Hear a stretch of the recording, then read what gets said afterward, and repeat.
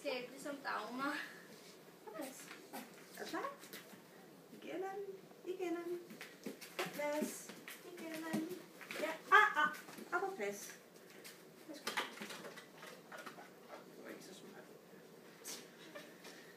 Igen. Kom. På plads. Igen. Kom. Igen anden.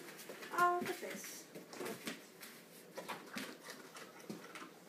Det var godt. Ja, det kan du godt lide. Er bare helt ligeglad, om du slår sig.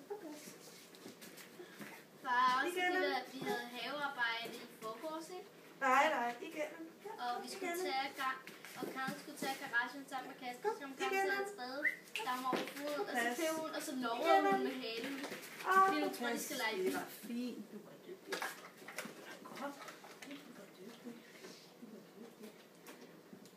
Så prøv igen. Igen, Anne. Kom. På plads. Igen, Anne.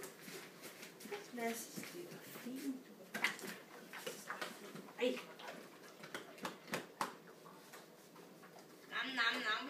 ej. Amen. Set this down. Nu er galskab Så. slut.